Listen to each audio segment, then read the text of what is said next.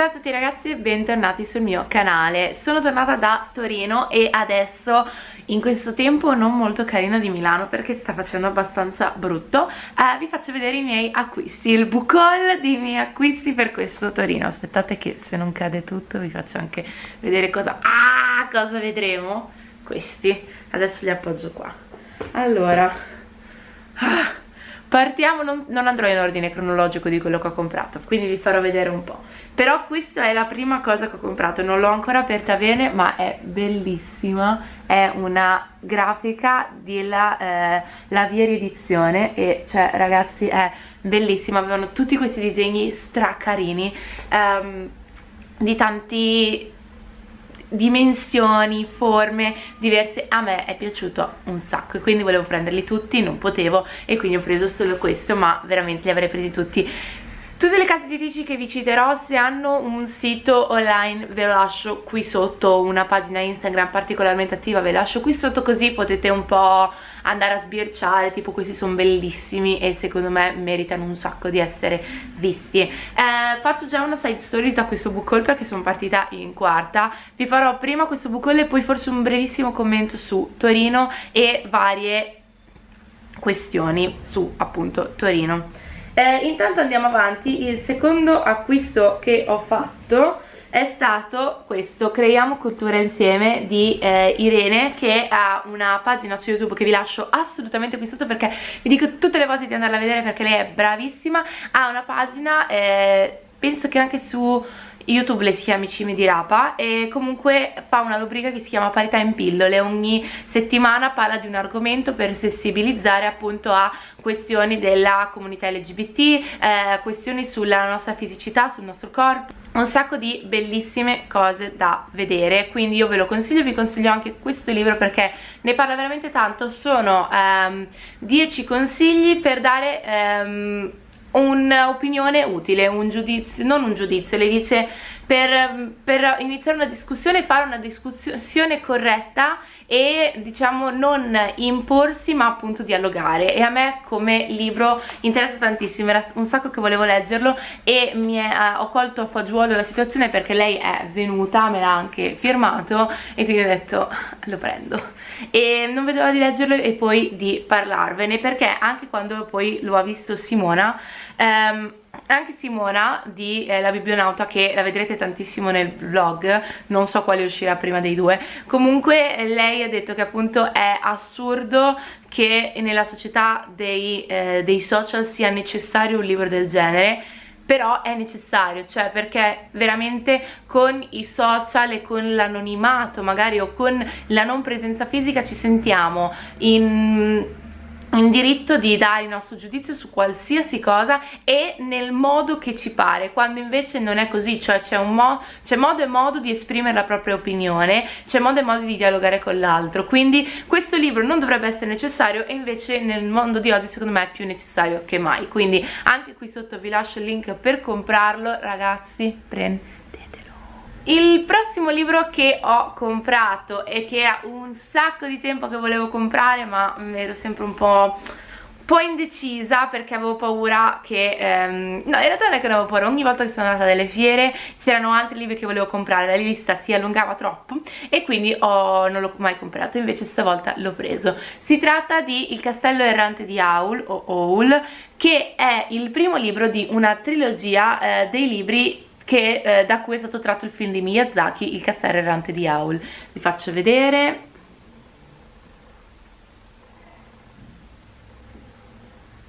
Non vedo. Ok. Questo libro è edito da Kapalab che vi lascio anche qui sotto perché eh, è uscita attualmente, ah non vi ho detto i prezzi, ops allora questo costa 15, eh, ci sono tre volumi ma se volete c'è anche il volume unico della trilogia a 35 euro. Questo qui invece costa 13,90 io poi in fiera l'ho pagato 12 o 11 quindi ottimo affarone. E poi vabbè la grafichina qui l'ho pagata 3 euro ma non so se era un prezzo di fiera o no. Comunque questo eh, ha, è abbastanza autoesplicativo se conoscete il castello errante di Aul. Non è molto autoesplicativo ma è un libro parla appunto di eh, questa storia di questa mia omonima Sophie che ehm, si trova a essere coinvolta, poi non so quanto il libro si distacchi dal film, comunque si trova a essere coinvolta nelle vicende di questa casa, di questo castello e di Aul, questo uomo che però ha altre capacità, dei poteri particolari. Non vi voglio dire troppo perché non so quanto si coglie, se non avete visto il film di Miyazaki ve lo consiglio veramente tanto, è un anime meraviglioso, costruito benissimo, ma a parte che Miyazaki è bravo in tutti i film che fa. Poi, eh, essendo ripresa la, um, come si dice, il club del libro di Inomni Apparatus organizzato da I Feel Book, che vi lascio anche questo il suo, il suo, Instagram qui sotto, ho comprato il libro di questo mese, che sinceramente non ho ancora iniziato, ma inizierò molto presto. Si tratta di eh, La notte di, anche questo spero di pronunciare bene, Ellie Wiesel, Wiesel non sono sicura comunque è edito Giuntina e costa 10 euro io ho comprato molti dei libri eh, che eh, saranno letti penso nel futuro per il club del libro di eh, Inomni Apparatus quindi in realtà mi, mi, fa piacere ricominciare. E sinceramente non è, ultimamente non ho fatto molte letture eh, legate a ehm, Shoah. Quindi visto che a gennaio non mi sono non ho partecipato con la giusta non voglio dire intraprendenza quanto qua, con la giusta attenzione, non gli ho dato il giusto peso, recupero adesso, meglio tardi che mai mi verrà da dire. Poi eh, ho comprato un altro libro dalla casa editrice Gainsworth che non conoscevo sinceramente, è un libro per bambini e la ragazza che me l'ha venduto, la signora che me l'ha venduto ce l'ha me l'ha fatto notare più e più, più volte, il che mi ha fatto anche ridere perché quando alla fine l'ho comprato lei mi fa è per una bambina o per un bambino? E io dico per me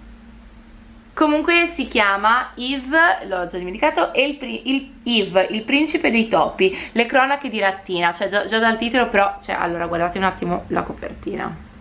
perché a me aveva conquistato anche quella, vedete apparire qui di lato, ma...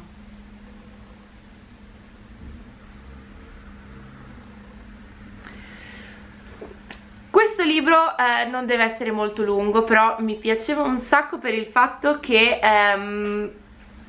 non leggo spesso libri per bambini e invece mi piacerebbe scoprire e uscire un po' da quella che è la tipica diciamo zona comfort libri per bambini o quelli più conosciuti. E questo libro mi ha conquistato subito e quindi ho detto perché non comprarlo? E quindi adesso l'ho qua in uh, lettura vediamo quando avrò tempo di leggerlo effettivamente. Il prezzo di copertina è 16,50 io in fiera l'ho pagato 15 però um, vedremo se la spesa vale il libro Ok, siamo già arrivati agli ultimi due, ci ho cercato di trattenermi un po', non è che proprio mi sono trattenuta tantissimo, però un po' mi sono trattenuta. Um, il libro che ho comprato, in realtà anche questo era un libro che io volevo da tantissimo tempo, ma... Um, non avevo mai avuto occasione di trovare e comprare. E quando l'ho visto qui l'ho guardato per un po' l'editore, l'editore appunto le ragazze che lavoravano lì me ne hanno un po' parlato e mi hanno parlato anche di un altro progetto che adesso vi faccio vedere. Il libro di cui vi sto parlando è Tutte le ragazze avanti che non si vede benissimo perché è molto chiaro. È una raccolta di, ehm, non vorrei proprio chiamarli saggi perché sono saggi però sono più storie, racconti. Ehm, riflessioni di varie donne sul femminismo, sul femminismo, sul ruolo della donna, su quali sono le lotte in corso, sulla loro esperienza come donne. E uh, io sono già arrivata a metà, mi sta piacendo veramente veramente tanto. E quindi questo sarà sicuramente uno dei libri che vi commenterò più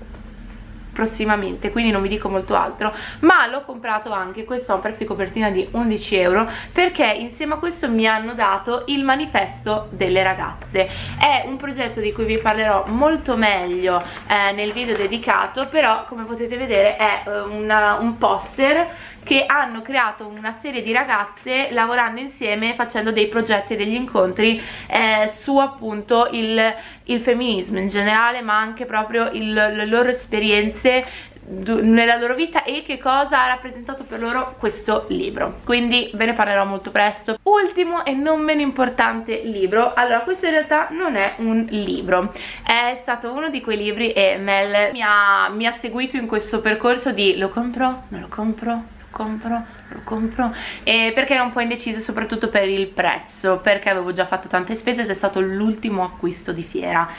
Stiamo parlando di una graphic novel, ovvero Salem. Adesso ve la faccio vedere perché la cosa che a me era, era piaciuta di più era principalmente la copertina, che era un po' ovunque, ma secondo me era bellissima. Salem ha un prezzo di copertina di 26 euro ed è della casa editrice Diabolo, Diabolo. È una, una, io l'ho appena cominciata proprio se potete vedere. Um, i disegni sono non il solito non il tipico disegno che a me piace. Io sono più per un disegno più tondeggiante e completo nel senso più da manga ecco più da manga manga shoujo cioè quello è il tipico disegno che di solito a me piace Ciò nonostante ehm, mi ha conquistato come idea anche perché mentre poi aspettavo per comprarlo e decidere ho un po' sentito ehm, quello che diceva ehm, una delle ragazze che lavorava lì, scusate ragazzi io non so se chiamarli editor perché non ho avuto modo di chiedere se erano lì perché lavorano, sono state chiamate per questo evento o perché sono gli editor che hanno portato in Italia questi libri. Comunque, o comunque li hanno pubblicati in Italia. Comunque questa ragazza stava spiegando come eh, Thomas Gilbert che io ho incontrato e di cui mi sono fatta fare anche il disegno ma ve ne parlerò meglio quando vi farò il video in particolare su questo libro. Um, Thomas Gilbert ha fatto varie ricerche sui eh, processi alle streghe a Salem in particolare ma in generale e quello che è stato il loro ruolo e quella che è stata la loro anche violenza a volte, la paura che hanno portato e la, la paura che era in generale insita nelle persone che quindi poi è sfociata in processi per le streghe per trovare un colpevole a cui dare la colpa insomma. E come argomento a me piace molto perché è un argomento secondo me i processi delle streghe diventano un argomento molto attuale nella misura in cui noi pensiamo a quanto ogni volta noi cerchiamo un capo espiatorio a cui dare tutte le colpe e, e, e attaccare. All'epoca erano le donne streghe ah, poi ci sono stati la seconda guerra mondiale, gli ebrei, cioè c'è sempre qualcuno a cui dare la colpa, quindi secondo me è molto attuale e adesso l'ho cominciato e non vedo l'ora di finirlo anche questo per potervene parlare. Ho cercato di fare un book haul abbastanza veloce, anche se sono già 15 minuti di video, per il semplice fatto che vorrei fare un commento finale. Io di solito non mi... Ehm, non voglio dire accanisco, semplicemente non prendo sempre parte alle discussioni che partono online su qualsiasi argomento e non parlo di discussioni per forza negative, parlo di discussioni anche utili, dialoghi utili che vengono creati. Uh,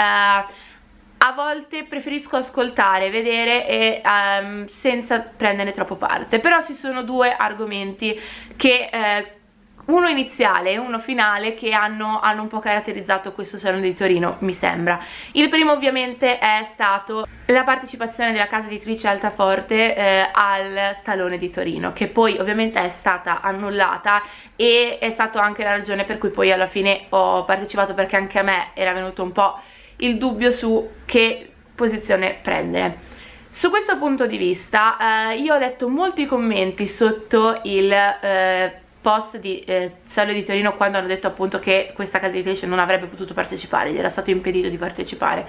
tra cui molti eh, attaccavano una libertà di parola, di pensiero, di espressione.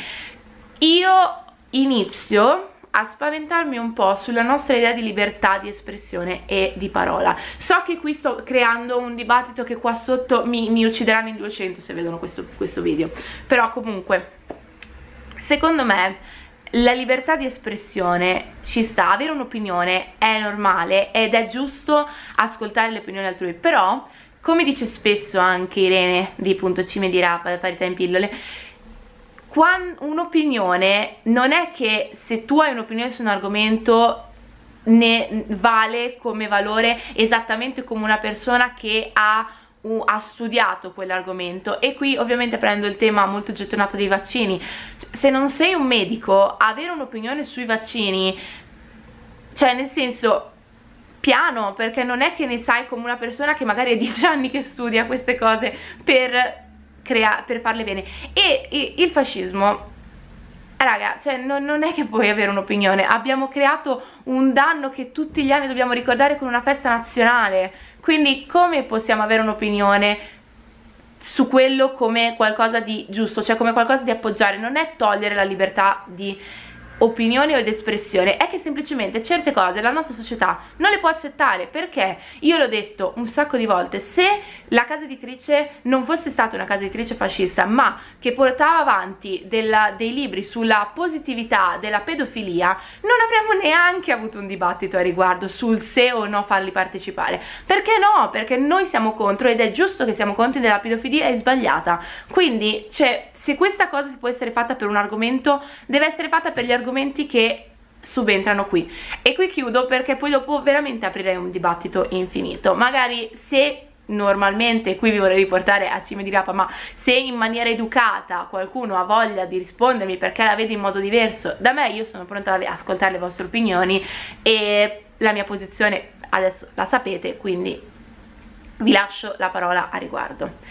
il secondo argomento, un pelo più leggero, è stato quello che poi è, portato, è stato portato avanti un po' in questo di dialogo da book blister e da tutti i book blogger su un articolo della stampa, ovvero sul fatto che i book blogger avrebbero invaso il salone di Torino e che a quanto pare staremmo ferendo, attaccando, non lo so come dire la parola, eh, i, i librai, le case editrici perché gli rubiamo il lavoro, cioè no, non si è capito bene, l'articolo non era scritto grandissimi, molto molto bene, ecco diciamo così. Fatto sta che il mondo dei book blogger secondo me è una realtà bellissima e vi posso garantire che io non so mediamente quanti libri comprano i lettori che vanno a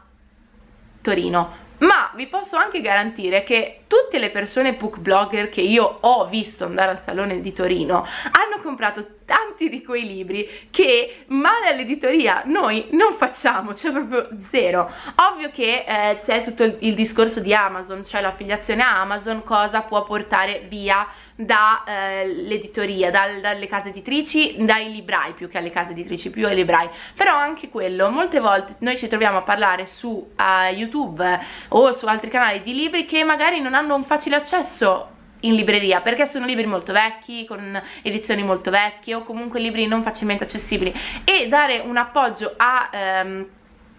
un'altra piattaforma che può essere Amazon può essere utile anche perché appunto eh, poi questo ne, ne, parlavano in una non un incontro che ho fatto a Sala di Torino ma che ho fatto a, in Statale a Milano ehm, con un editore. A volte proprio i librai non ce la fanno a tenere tutto il materiale, tutti i libri nella loro libreria perché non c'è fisicamente spazio. Quindi tengono i più recenti ma già i più meno recenti o i meno venduti fanno più fatica a tenerli. Quindi secondo me si può creare anche grazie ai book blogger uno scambio maggiore. E dire che noi stiamo facendo del male ai librai non mi sembra molto sensato perché lavoriamo nello stesso campo e cerchiamo di promuovere la cultura, promuovere i libri poi c'è un modo e modo di fare blog vlogging, ci sono 10.000 questioni dietro che poi molti hanno portato su però comunque è stato un articolo un po' strano da leggere. Niente a quanto pare le mie macchine fotografiche non sono molto contente che io faccia un video. Vediamo. Vabbè quello che stavo dicendo che chi lo fa per passione chi lo fa per lavoro ci sono tante ragioni per cui si fa book blogging per cui si consigliano libri agli altri. Però secondo me attaccare una realtà come il book blogging come una realtà che ruba il lavoro anzi secondo me dovrebbe essere una categoria, quella dei book blogger, una categoria che deve essere valutata in modo diverso, deve essere soprattutto rivalutata e definita perché per ora è questa marmaglia di persone però non si capisce bene dove si va a parare. Quindi in generale cioè, l'articolo mi ha fatto un po' più ridere che altro perché mi sembrava un po' sì questi il vecchio libraio mm, in pericolo attaccato da questi book blogger che consigliano libri. Quindi boh comunque un po' così. Se anche voi avete un'opinione a riguardo anche in questo caso lasciatemi magari un commentino qui sotto e se ne parla un po' bene ragazzi, qui si conclude il book haul e il commento a questi due argomenti. Uh, il Sale di Torino è stata veramente una bellissima esperienza, ma penso che uh, potrete vederlo dal vlog che uh, ho fatto in tutti i giorni, ho camminato, vi ho fatto vedere stand. È stato un ottimo momento per, prima di tutto, interagire con case editrici, editori, con realtà che conoscevo molto poco. Non è stato un grande evento, diciamo un grande um, salone per gli eventi perché è stato difficile partecipare ad eventi, più che altro per la quantità di gente e lo poco spazio che un evento eh, a quanto poco spazio si dava a un evento nel senso che c'erano veramente pochi posti dentro o le sale erano veramente veramente molto piccole che può essere un indizio per i prossimi, magari allargare un po' le sale per gli eventi e lasciare le persone che possono entrare, sedersi, trovare qualcosa. Però in generale è una bellissima esperienza che sono molto contenta di aver fatto e ovviamente non posso che ringraziare un'altra volta Mel e Simo per aver partecipato con me, per avermi accompagnato e essersi prese cura di me, vi lascio i loro canali qui sotto. Noi ci vediamo presto con altre letture, altri commenti, come vi ho detto questi sono i libri che ho comprato ma ci sono tante altre letture che sto portando avanti di cui non vedo l'ora di parlarvi quindi voi rimanete aggiornati. Vi ringrazio per aver guardato questo video anche se era molto molto molto lungo. E come ultima cosa se questo video vi è piaciuto vi ricordo le nostre tre little rules ovvero mettere mi piace Instagram mettere mi piace a questo video YouTube e iscrivervi al mio canale. Inoltre per non perdervi tutti gli aggiornamenti eccetera mettete anche la campanellina che non so dove sia quindi se non la trovate vi capisco non è un problema. Ciao